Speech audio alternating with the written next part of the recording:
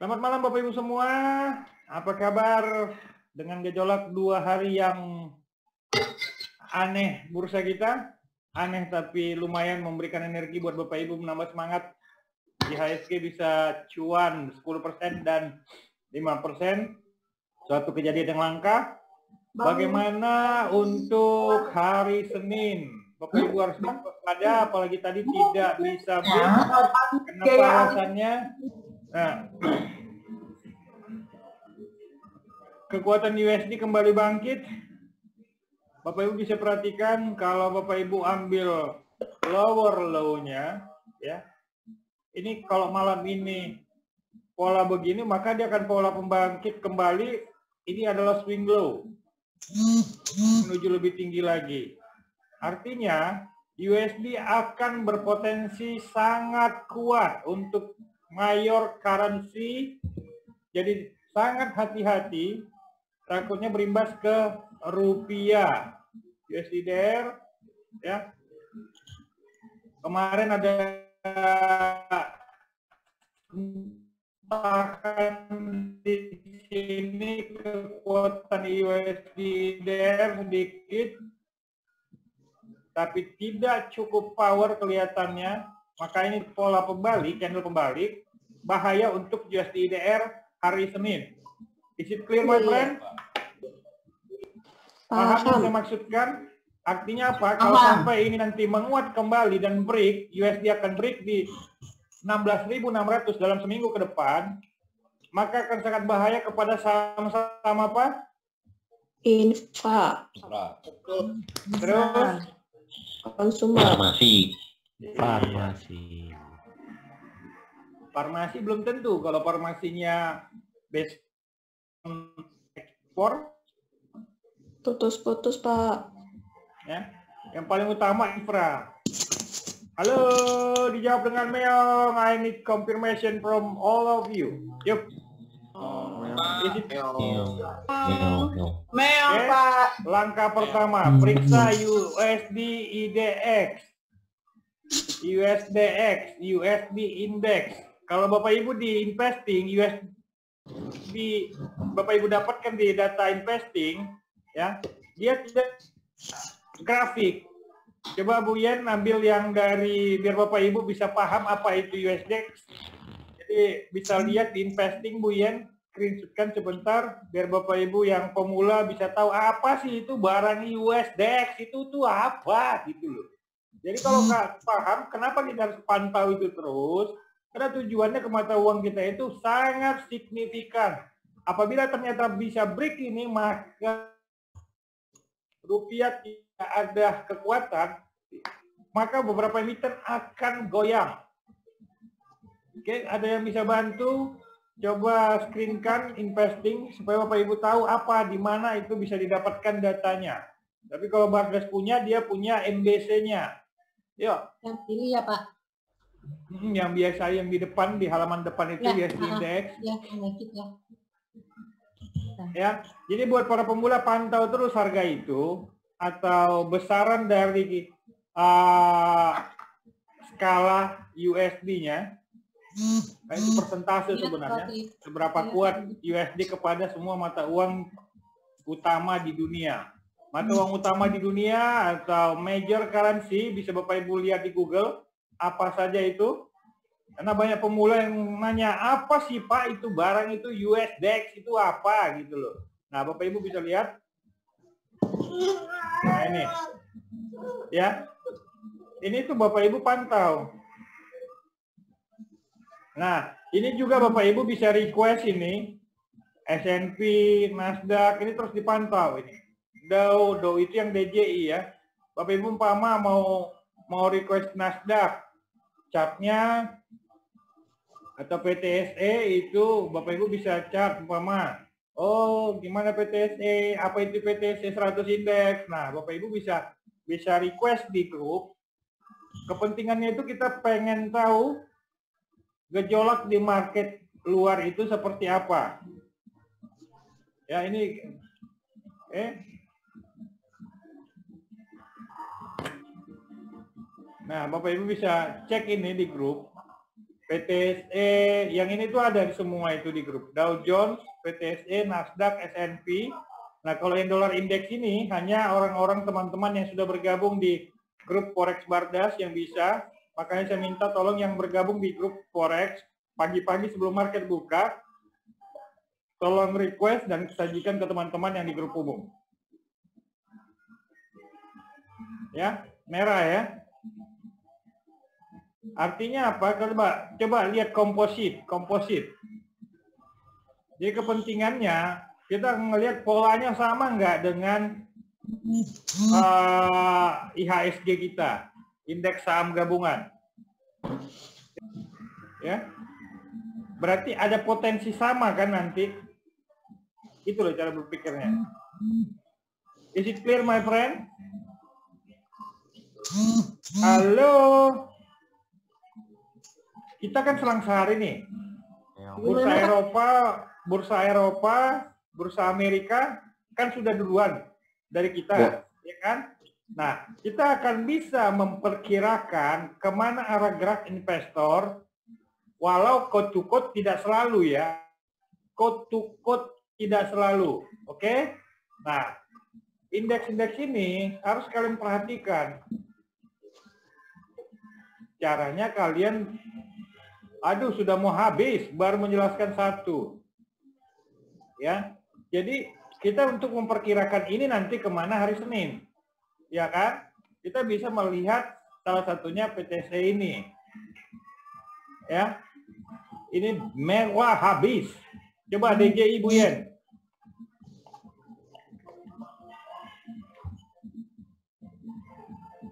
Kita lanjut sesi 2 or enough. Lanjut. Lanjut. Lanjut, Pak. Lanjut, Pak. Lanjut. nggak semangat pun kalian bilang Lanjut, lanjut. lanjut, Pak, lanjut.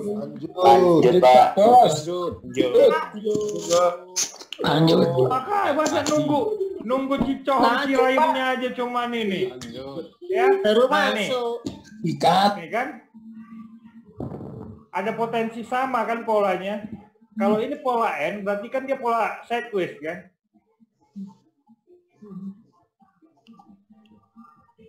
Ya, Ya, oke. Is it clear, my friend? clear. Oke. Dan satu lagi setelah DJI apa Bu Yen? SNP. Ya. SNP 500. Sama nggak? Ada pola kecenderungan sama nggak? Sama. Sama. Nah, itu. Itu pentingnya ada da data. Itu pentingnya lihat chart.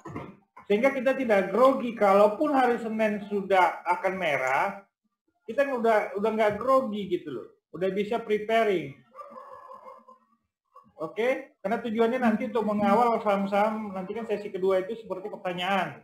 Saya beli A, saya investor, saya swing, saya trader, jumlahnya sekian, cash saya sekian, kira-kira menurut Bapak apa saran terbaik? Begitu, jadi jangan Pak kalau INKP gimana? Wow, saya bukan dukun loh, ya kan? Is it clear? Clear. Saya membantu, tapi bukan saya bukan dukun, gitu ya. Jadi tanya yang benar, Pak. Saya punya saham XXX, bukan triple X ya. Kalau aku bilang triple X si Winsar itu langsung ketawa aja mesum mukanya. Ya Winsar, Enggak lah tulang. bercanda lah ya. Gue ya serius sekali Ayo. tuh, oke? Ya. Oke. Paham ya saya maksud ya? Bagaimana mengidentifikasi what next day? Ini kebetulan kan kita kepotong Sabtu Minggu. Nah, apa yang akan terjadi hari berikutnya? Salah satu indikator yang harus kalian lihat tadi apa? Come on. TGI, SNP. Apa? SPSE, GX. Ah, belum ada ya. pun tadi ngebahas itu pertama-tama. Kalian sudah lompat ke situ. Udah jelas-jelas pertama-tama. Ah, betul. Setelah USD Index, Pantau skala USD. Terus Media outputnya. Nanti ngoceh aku di sini kalian. Iya, iya. Tapi padahal ini kan aku upload. Besok-besok lupa gitu kan. Major current currency. Major currency-nya dulu dicek tuh. Hmm. Yang pertama-tama tadi bukan itulah. FTSE. F dollar index. US Iya kan dolar indeks terus Ya, dolar indeks itu hubungannya ke mana peluang major harga currency. IDR, ya kan? Ya, ya. Terus setelah USDX tadi apa? Nasdaq. Ah, kali ke Nasdaq. USD IDR. Pak. Hah? FTSE Pak. Ah, sebelum itu ada. Macam mana kalian? GSPC. I, DJI. John. UJI. USD IDR. Ah, sebelum itu masih ada. Dow John. Ah, Ya. sebelum itu masih ada. Ah, kalian. USD IDR. Iya, itu kan USDX. USDX itu bagaimana nanti peluang kontranya dengan IDR. Eh, come on, come on, come on. SNP. Hah? Itu sudah SN. kedua itu. Pengaruh terhadap saham-saham yang terkait dengan USD IDR. Bukanlah. Ah, kalian. DJI. Apa nih? Oil, oil. Ah, artinya apa? Cek harga Harga oil, Pak. Komoditi. oil itu apa itu? Kelompok apa oil itu? Komoditi. Oh, kalian pun cemana nya ngoceh-ngoceh kalian tidak ingat lah. Aduh. ya. Wajib pertama komo USDX karena untuk mengetahui peluang USDDR karena akan berpengaruh kepada saham-saham yang bergerak dalam mata uang. Kenapa mata uang? Oh, dia banyak hutang. Kalau hutangnya makin banyak dalam posisi dolar berarti artinya Tertekan. ya. Setelah itu komoditas. Yang saya sajikan itu cuman WTI. Nah, yang Ya. lain-lainnya kalian cari di Trading mana view. kalian cari? Investing. Iya. Kemudian. Al- Kemudian apa tadi? Kita akan cek apa? Ah, DJI. DJI. Index. Ya, Indeks, Indexes. indeks. jadi kita penting supaya kita bisa melihat geraknya IHSG kita itu nanti. Oke, kita udah ini adalah materi dasar tiga. Dasar tiga, dasar satu, Bapak Ibu harus mengecek tren MBC-nya, dasar dua candlestick, dasar tiga supporting katalis dari yang tadi saya sebutkan. Salah satunya adalah setelah WTI atau oil atau brand, Bapak Ibu harus cek ini. Ya. Ini kalau yang mau trading forex, ini akan menjadi pola flag loh. Antara pola flag dia akan break atau akan pola flag dia ke bawah. Kalau kalian punya MT4, kalian tarik aja begini. Lower low, higher high. Jadi posisinya nanti ini akan ke atas atau ke bawah. Pada saat posisi seperti itu, take it decision. Oke, yang trading forex. Yang bukan trading forex, kepentingannya kita harus lihat harga komoditas ini salah satunya. Is it clear my friend? Clear my friend? Oke. Memastikan Anda clear atau tidak dengan materi malam ini dasar tiga, kalian harus saya tes. Kalau tidak, tidak saya lanjut. Oke? Come on, Luis. Apa resumenya? Apa yang harus kau cek? USDDR, Pak. Ya benar lah, jangan pelit kali suara kau tuh. Teruslah kau kocek dulu. Pengen dengar aku dulu suara kau yang ganteng itu supaya kau bisa kupastikan kalau kau mewakili yang lain kau sudah mengerti atau mengerti. Dolar indeks, Pak. Dolar indeks. Iya, apa itu dolar indeks? Tujuannya apa? Ke mana? Itulah. Kita sampai detail. terhadap mata uang lain. Oke, terus? Komoditas. Dolar indeks itu tujuannya untuk mengetahui apa? Tekanan mata uang terhadap mata uang. Yang lain Pak, kayak rupiah Apa dan lain-lain. dengan kita nah, gitu untuk menge- untuk apa untuk mengetahui seberapa tekanan yang akan dihadapi oleh IDR Betul. oke kau pun cepatlah suara kau itu Jangan malu-malu? Ya. Siombing mananya kau? Pudi Horbo Bantuan. Banturuan ayo cepatlah Habis itu cek harga umat. oke salah satunya komoditas apa yang dicek? Oil. Oke. Apa? Atau infra. Hah? atau farmasi Pak. Oil, terus itu kan komoditas. Oil tadi saya apa jawab lagi oil. komoditas? Komoditasnya apa lagi selain oil? Emas. Farmasi Pak. Emas, selain emas apa? Farmasi. IPO. Apa lagi selain emas apa? Farmasi Pak. Batu bara. Nah, batu bara pasti itu dengan energi. Bisa terwakili oleh oil. Ayo apa lagi? Selain bara apa? IPO Pak. PO. PO. Terus apa lagi? Lima.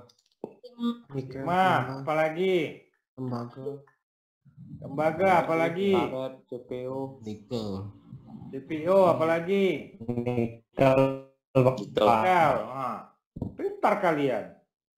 Jadi kalau Pak Budi kasih data-data itu pagi-pagi, langsung kalian cek untuk memastikan emiten-emiten yang terkait dengan itu, apakah itu akan menjadi katalis positifnya. Oke? Oke. Oke. Terus habis itu apa lagi, Luis? Ya. Apa lagi? DJI. Oh, Apa itu DJI? Iya sebentar lagi mau tidur Untuk kan? mengetahui apa? Hah? Hmm. mengetahui apa? korelasi intermarket Dengan dengan bursa bursa global Iya. Siapa yang jawab itu? ibnu pak Ah, kau dari tadi panggil-panggil kau nggak muncul kau. Wah, pintar kau sekarang kan? Maaf pak Se- ketinggalan sesi satu Oh, nggak kebagian kau kena cakar-cakaran kau. ya, untuk mengetahui korelasi antar bursa terhadap kemungkinan, ingat, kemungkinan ke mana akan bergerak komposit. Is it clear, my friend? clear. Clear. Oke. Sudah ya, habis bahannya materi tiga ya. Udah lulus kan? Lanjut, lanjut. Oke, kita buka sesi ketiga ini dengan tanya jawab. Oke. Mulai, yuk. Siapa yang mau nanya? Jangan? Pak. Chandra dari Semarang Pak Bar. Dia, dia, Mau tanya. Iya. hmm. Itu USD dolarnya itu patokannya berapa ribu Pak Bar? Agar kita tahu infranya naik atau infra turun Pak. Patokannya untuk kita. Terima kasih Pak. Ini kan, ini kan chartnya nih. Jadi gini, cara membaca. Ini kalau dia menguat, artinya poten kalau candle ini nanti tutupan sampai pagi ternyata sebagai candle pembalik apa itu candle pembalik kau baca lah itu tonton lagi YouTube-nya aku tadi ada banget loh aku bilang pusing kali aku kan udah ada materinya di situ. Tinggal kau baca gitu kan. Nggak teratur. Kalau teratur kau bayar. Selesai kan? Kan sengaja itu saya bikin supaya kau kau tonton ulang terus gitu kan? Betul tidak? Orang rajin harus kalau mau kaya harus Baca. apa? Rajin? Eh harus rajin. Rajin rajin baca cat. pangkal kaya. Malas malas malas baca cat gimana? Kau mau cuan? Kau beli dan terus pucuk kan dikit-dikit beli pucuk padahal udah jelas robotnya suruh dari bawah ya kan ada pula tadi yang masuk itu KF Inaf matilah aku bilang itu robot dari 600-an loh udah 100% baru kau kejar. ya kan? Itu. Jadi, jadi kalau candle kembali, artinya kan dia akan menguat. Kalau dia menguat, bahasanya USD kita juga akan berpotensi berpotensi apa? Menguat. USD menguat? IDR melemah. Enak ya. Iya. Mana tadi ya? Mana? Susah kali aku nyarinya. Atas, Pak. Eh, Mana nih orang ini? Dia tadi langsung request request sih. Ah nih. Ini kan MBC kan, garis biru, garis jangan bulan nanti. Pak, apa itu MBC? Matilah aku udah sekian bulan ini. Zoom meeting masih nanya pula apa itu MBC garis merah, eh garis merah, garis biru, garis coklat. Artinya USD sangat powerful terhadap M. IDR. Iya. Bisa. Nah, berarti kan ini akan begini juga polanya kan, pola vertikal. Hmm. Ngerti Baik. yang saya maksud? Siapa yang nanya tadi? Saya Chandra. Ganda. Semarang. Dari Semarang. Chandra dari mana tadi? Semarang. Nah, kan kalau ini USD USDX nya menguat, ini kan akan menguat kan. Hmm. Tapi ya kalau ini break, ambrol lagi nanti infra-infra itu kan. Berulang kali kau tanya kan, cuan nggak kau itu saham-saham infra itu dua hari ini? Eh, baru hari ini sih saya ini Pak, eh, saya cuma cuan anpam sama Ah, BRPT. macam-macam kau kau yang nanya terus. Infra infra Iya. infra ah, tinggal kau cek lah itu Ah, Charles nah, kau orang udah cuan puluhan persen hampir gila tuh cuanku di infra itu gara-gara robot itu. Itu robot baru sebagian itu. Belum robot yang super lipat itu. Ya Iya, Gitu. Jadi kalau ini kalau ini dia ngebreak berarti potensi. Saya nggak bilang ha- pasti ya. Potensi infra akan down. Iya. Iya kan? Makanya pantau gitu. Kita kan ini trading mengukur potensi. Kalau semua bisa dengan 100% nggak akan ada mobil kijang di jalanan. Yang ada mobil apa Messi? Lamborghini. Iya, mobil Lambo yang banyak kalau semua penuh kepastian. Kan gitu, karena ada ketidakpastian, maka pantaulah semua. Oke? Is it clear? Yuk teman Clear, dari. Semarang clear? Clear Pak, terima kasih. Nah, benar itu yang kau tanyakan? Betul Pak. Oke. Tanya tentang korelasi intermarket, Pak. Intermarket. Nah, Iya Pak, Pak, Pak. Kira- kira-kira apa kalau, Nih. kalau misalkan kore- korelasi intermarket itu eh, menyumbang berapa persen eh, ter- terhadap indeks hari ini Pak? Eh, eh, mo- mohon maaf kalau jadi eh, menyumbang berapa persen terhadap indeks per setiap hari ini? ingat hukum perilaku market. Ya, kalau sudah terjadi sesuatu yang bersifat global akan sangat dominan dipengaruhi oleh perilaku intermarket. Ingat, kalau hukumnya bersifat global. Tapi kalau sesuatu yang tidak bersifat global, persentasenya cukup sedikit. Ingat di candle sebelumnya bisa jadi kalau ternyata tidak karena faktor global berarti adanya penurunan komoditas, adanya kebijakan pemerintah. Dibaca lagi ya, ditonton lagi dong candle-candle itu kemarin ada di situ. Ya nggak Messi? Iya. Betul. Sekarang ketakutan market apa? Corona. Dow Jones ketakutannya di mana? Apakah Trump dan Xi Jinping Kan. sudah meredah kan perang dagang? Ya. Apa ketakutannya? Bukan, kalian nggak update news. Ayo, apa? Inti berita satu dua hari ini. Jumlah di Amerika lebih banyak di- dari Cina, Pak. Iya. Exactly. Iya, Menjadi betul. pusat epidemi baru. Iya. Selesai de- selesai Shanghai, ya kan?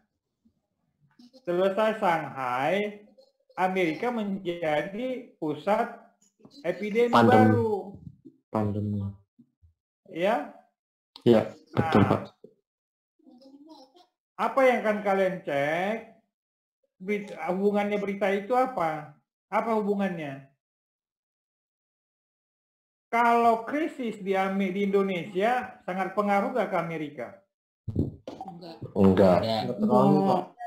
Enggak. Kalau krisis di Amerika berpengaruh nggak ke Indonesia? Pengaruh. Pengaruh. Pasti. Itu. Ada. Terjawab Ibnu. Ibnu tadi yang nanya. Oh. Terima kasih, Pak. Iya. Dipen gitu loh. Tergantung apa isu sentral yang terjadi. Dalam posisi sekarang, isu sentral yang terjadi adalah Corona tahun 80 kan? Yang yang saya kasih joke itu Iya, Pak. mobil Corona Iya. saya terhina katanya kan?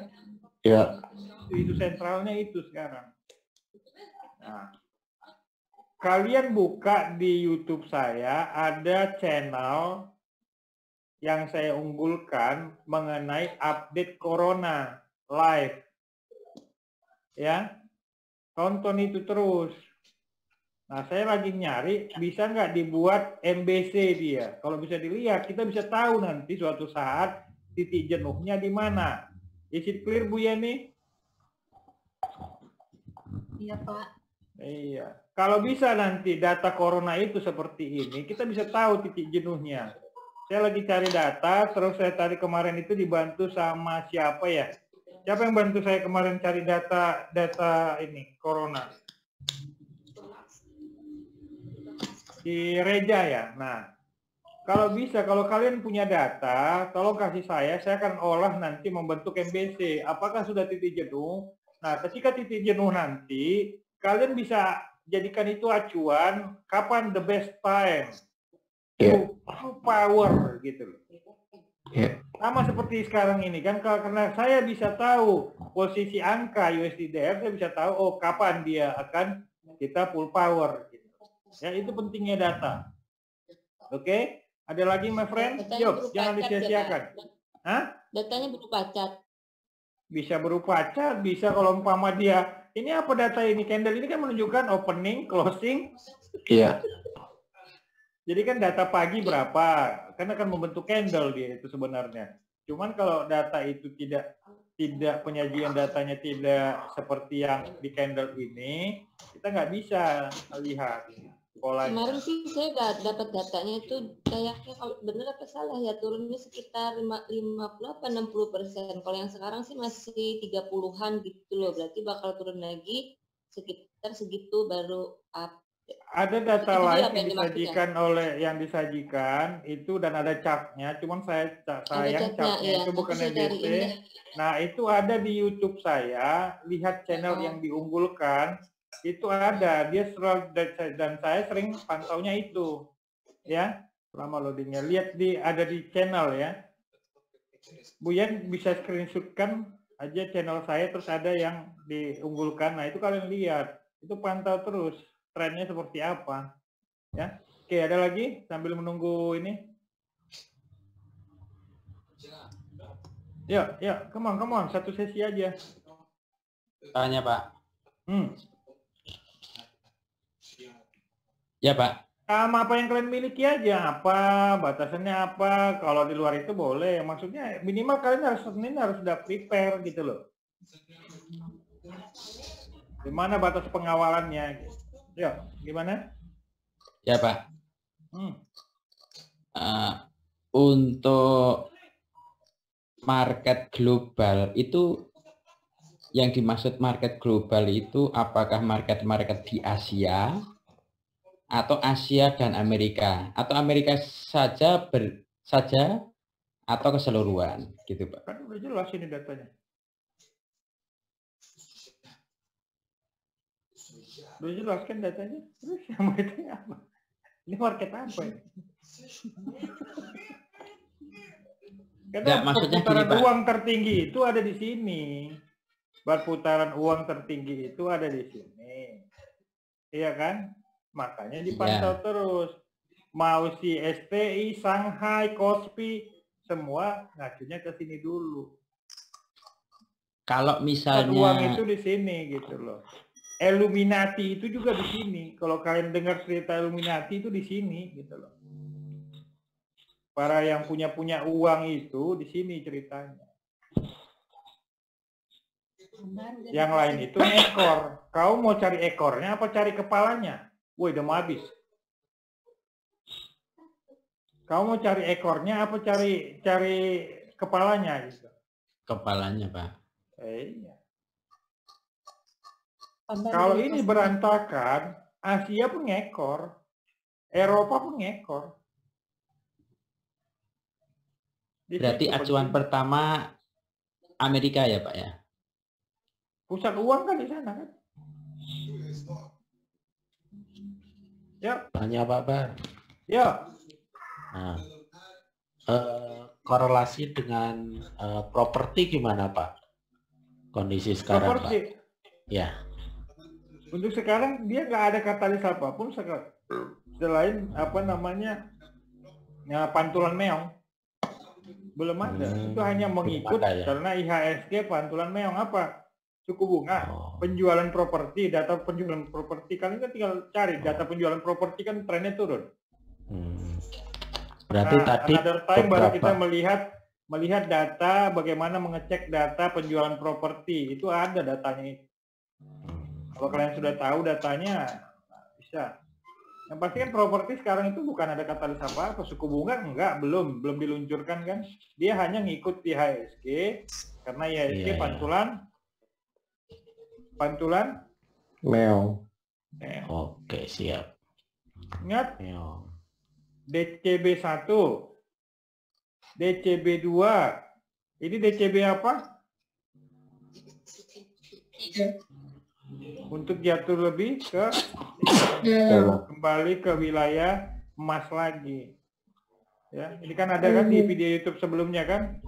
Fase emas, fase emas, fase emas. Makanya saya bilang tadi itu kalau kalian putar beli, beli, beli terbang, terbang, terbang dari mana saya dapat data ini? Ya 20 tahun kawan saya olah.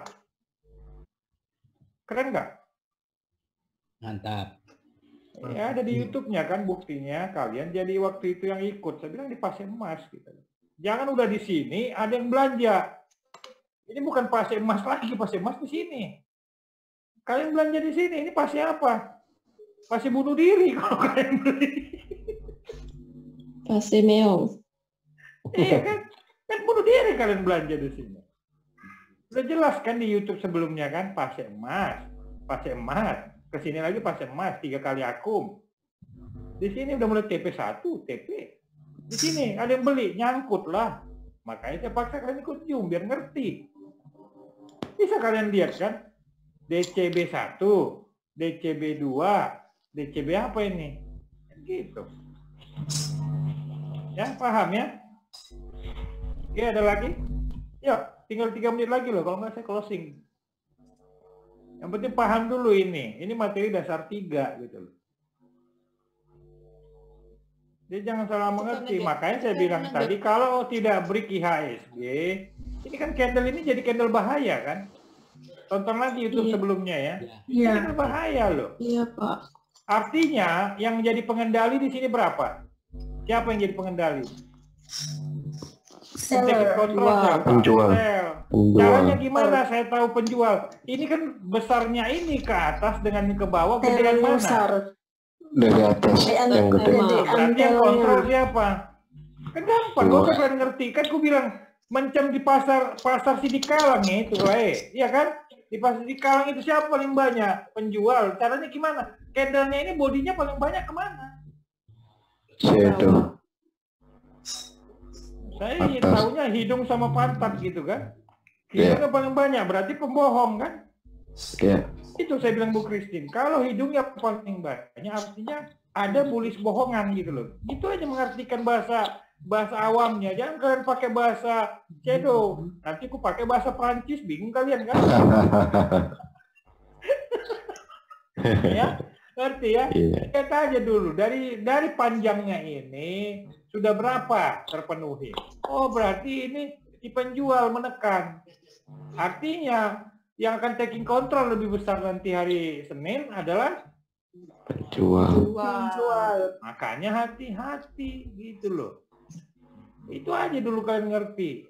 Penjual pembeli, penjual ini kan kata kata kunci candle pertama kan saya bilang ke si Messi jangan banyak cengkun Eko Messi. Kau lihat aja itu penjual apa pembeli, selesai. Itu dulu mengerti. Yes. Setelah itu urusan nanti, baru kau baca lagi candle-candle yang lain. Is it clear my friend? Jangan buat susah membaca chart. Buat dengan bahasa gampang Yeah. dulu. Kalau kau mau tingkat dewa, nah nanti kita bicara tingkat dewa kan?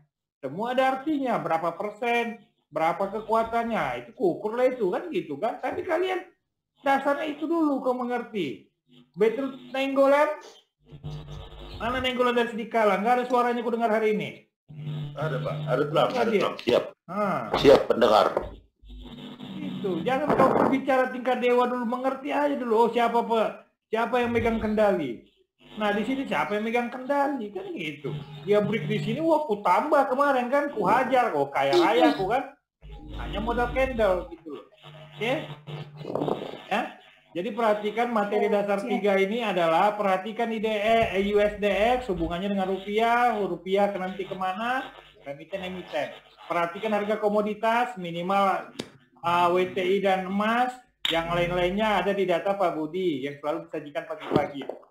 Kemudian perhatikan perhatikan pola gerak interglobal. Salah satunya yang paling utama adalah ide uh, DJI, S&P itu bisa STSE. Nah, ST STI Shanghai sebenarnya bisa kalian cek juga di grup. Nanti ku kasih kode-kodenya ya. Kemudian setelah itu pantau itu menjadi seperti apa pola interglobal yang akan diikuti oleh investor-investor yang bergerak di IHSG.